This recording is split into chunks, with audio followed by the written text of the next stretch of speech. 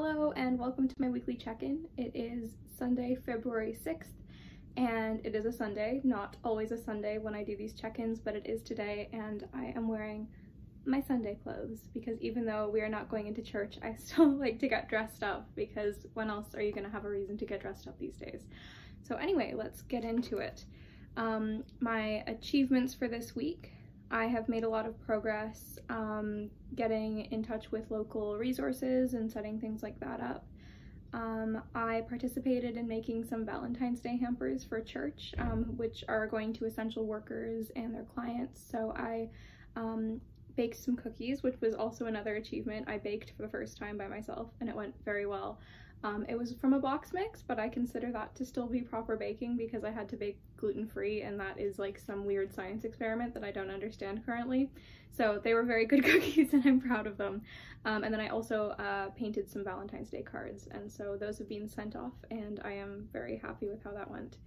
Um, uh, oh, also about church, I've just started getting involved with some more community outreach uh, projects talking about um, ecology and pastoral care and various stuff like that.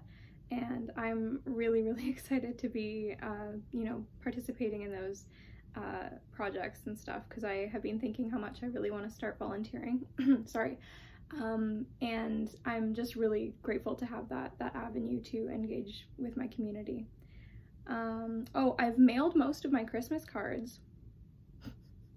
Everyone pretend it's still December. I still have some more to go, but that's not my fault. That's because people wouldn't give me their addresses. So they're getting there.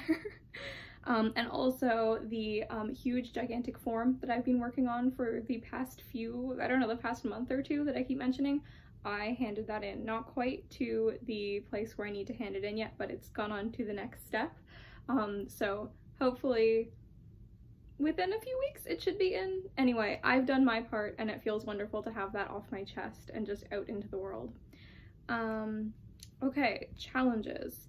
Um, there wasn't a whole lot. I guess the main thing is COVID, feeling extremely isolated, but surviving. I've started going out for walks with friends and stuff, which is really wonderful. Um, oh, I, I've, so I am getting more support uh, with my with my health and stuff but then also that is bringing up a lot of anxiety around appointments and medical stuff so that's just something I have to work with.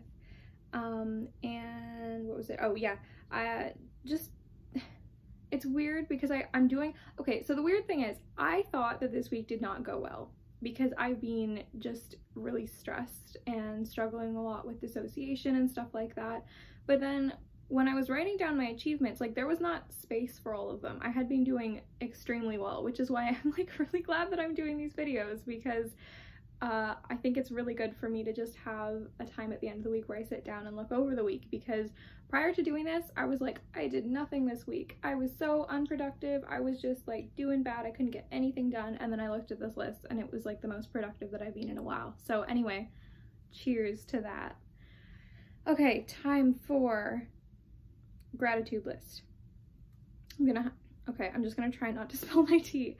Uh, film, loved ones, God, uh, my church community, making progress, baths, hot cocoa, childhood memories, crafts, fairy lights, flowers, uh, donations to my GoFundMe, uh, restful sleep, baking, and my community centers. That is another achievement that I, my list is so long I didn't get to say it, but I've uh, been starting to go through the, uh, uh, and thanking everyone who's been making donations to my GoFundMe. I was a little bit behind with that just because of how hectic everything has been, but um, I am so, so appreciative for everyone who has donated to that. Anyway, I hope you have wonderful weeks and I will see you next weekend. Mwah! Goodbye!